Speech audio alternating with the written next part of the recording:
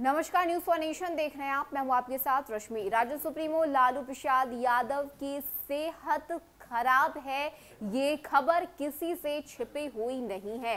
लेकिन अब लालू प्रसाद यादव को किसी भी हालत में 23 नवंबर को पटना के सिविल कोर्ट में उपस्थित होना होगा। आपको बता दें कि कोर्ट की तरफ़ से ये आदेश दिया गया है, जिसके तहत अब लालू प्रसाद यादव को किसी भी परिस्थिति में, किसी भी हालात में 23 नवंबर को पटना के सिविल कोर्ट में आना ही होगा। आपको बता दें कि इससे पहले भी लालू प्रसाद यादव को पेश होने की बात अदालत की तरफ़ से कही गई थी, लेकिन इसके बावजूद उपस्थित नहीं होने की वजह से अब तारीख का ऐलान करते हुए पटना सिविल कोर्ट ने बताया है कि आखिर कब लालू प्रसाद यादव को आना है। ऐसे में जो जानकारी है, उसके मुताबिक 23 नवंबर को लालू प्रसाद यादव को आना ही होगा। आपको बता दें कि सेहत खराब होने की वजह से आनंद फानन में पटना से लालू प्रसाद यादव को दिल्ली ले जाया गया। लगातार उनका जो इलाज है, वो चल रहा है, लेकिन सबके बीच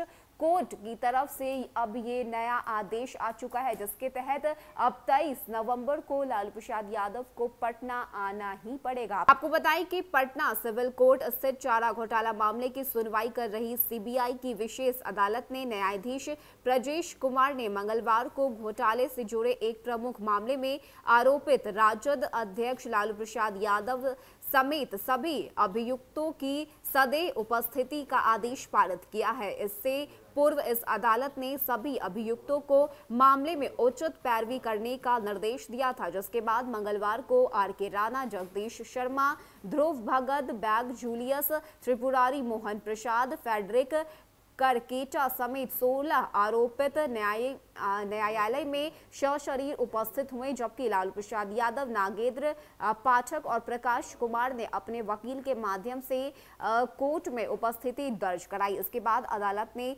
मामले में 23 नवंबर 2021 की अगली तिथि निश्चित करते हुए सभी आरोपितों को सदैव उपस्थित होने का आदेश दिया है। मामला भागलपुर के बाका उप कोषागार से लगभग 46 लाख की फर्जी विपत्रों पर पशुपालन विभाग से षडयंत्र के तहत अवैध निकासी का है और यही वजह है कि पटना के सिविल कोर्ट की तरफ़ से यह आदेश दिया गया है, जिसके तहत अब लालू प्रसाद यादव को 23 नवंबर को पटना के सिविल कोर्ट में उपस्थित होना ही पड़ेगा। आपको बता दें कि बीते कई दिनों से लालू प्रसाद यादव की सेहत में कोई सुधार नहीं आया है। लगातार उनकी जो रिपोर्ट है, उस पर जो है, डॉक्टर की सलाह ली जा रही है।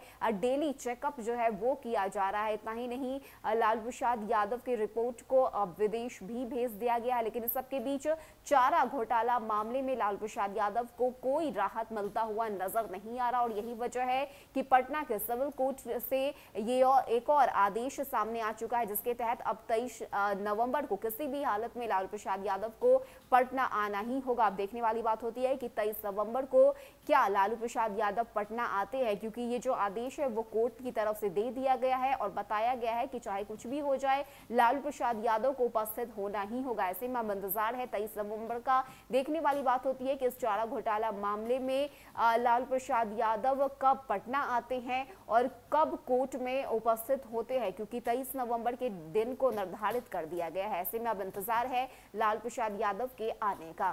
फ़िलहाल इतना ही, ज़्यादा अपडेट के लिए आप बने रहिए न्यूज़ फॉर के साथ। नमस्कार।